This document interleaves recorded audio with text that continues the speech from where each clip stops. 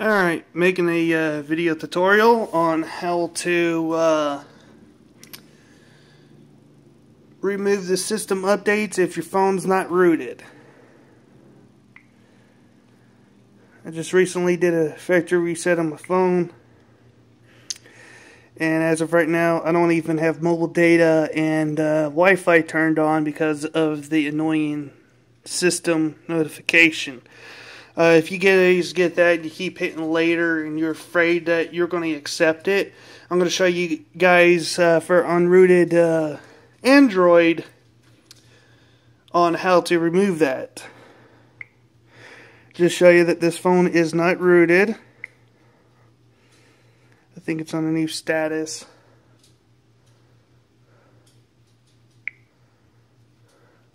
And if you saw my number, don't even try bothering calling me.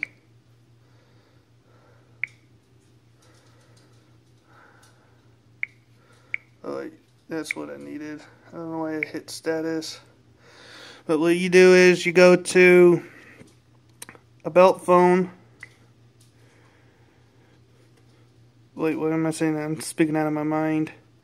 But right there, it will show you that my phone is official. So I'm going to show you guys how to get developer options opened and then use this debloat tool to uh, remove the system update. So what we do is we go to uh, About Phone and we go to Software Info. So I was right, I had to go there.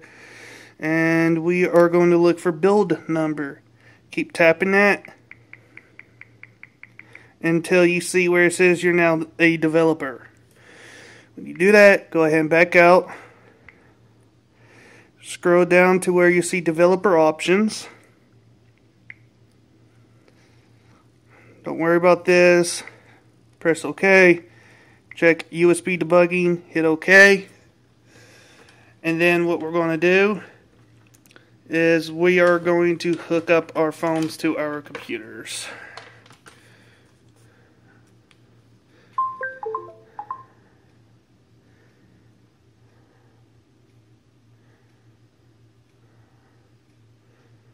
Okay, it's not asking me for that message, so we'll we'll get that message later, and you'll see what I'm talking about. Alright, with our LG G4s uh, connected to the phone, uh, in order to use this tool here, um, we are going to, you're going to have to download the LG drivers. I forgot to mention that in the beginning. Okay, that was weird. Why did my phone take a picture on it? Oh. I forgot I left the voice activation on that thing. Oops. Okay, well, sorry about that. okay, um, so as you can see on the screen here, right here is my uh, G4. I'm going to show you guys um, what it's going to do, and at the same time, you'll see me run this tool. So once you get the drivers and all that crap installed, we're going to go ahead and uh, get our G4s turned on. Make sure you're still in uh, the debugging uh, not debugging, the developer options. Because if you're not in here, you're not going to get that message.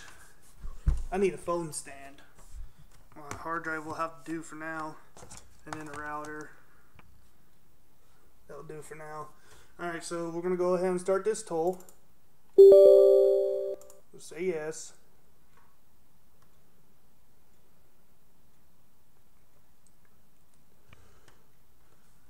And our phone should pop up that message.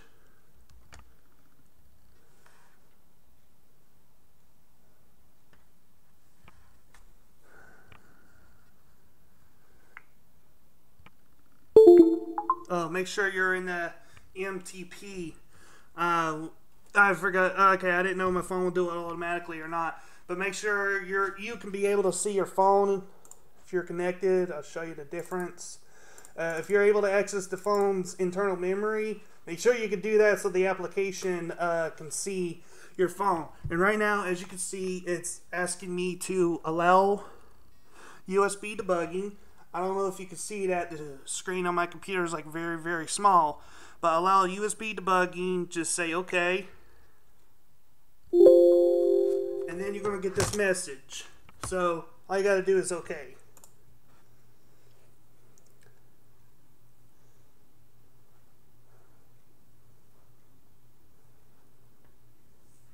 Should bring up all the applications on here.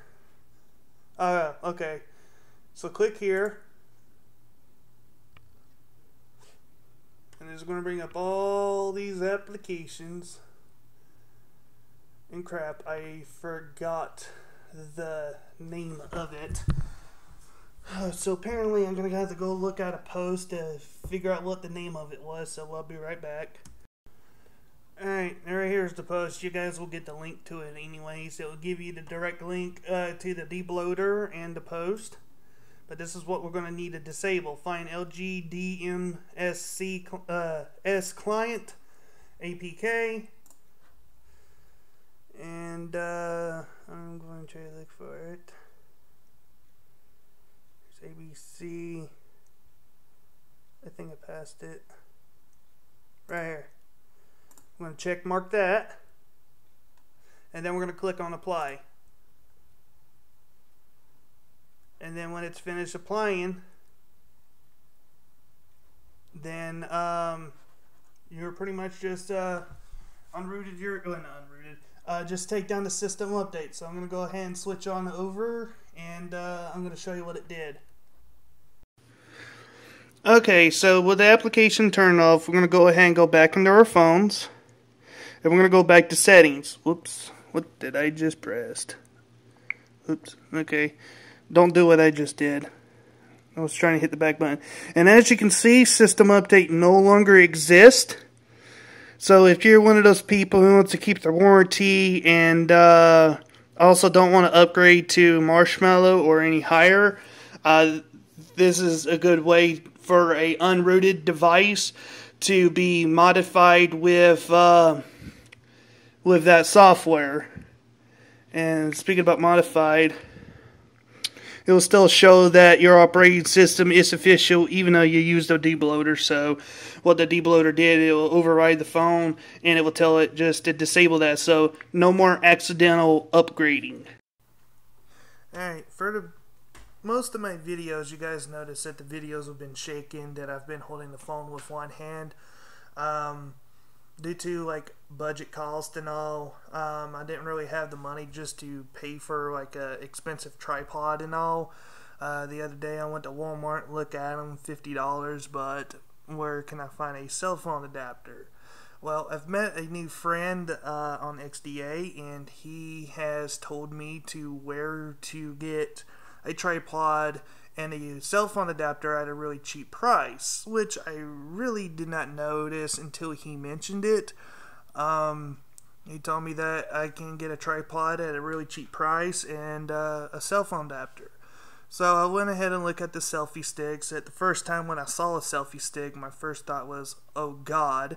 So I went back to Walmart and check it out, and uh, I purchased a selfie stick for five dollars, which had the phone adapter, and I purchased a tripod, which is fifteen dollars. So I want to give out a shout out to my friend who helped me, uh, Phonepie. So I really do appreciate it, and now my video experience is going to be a whole lot better.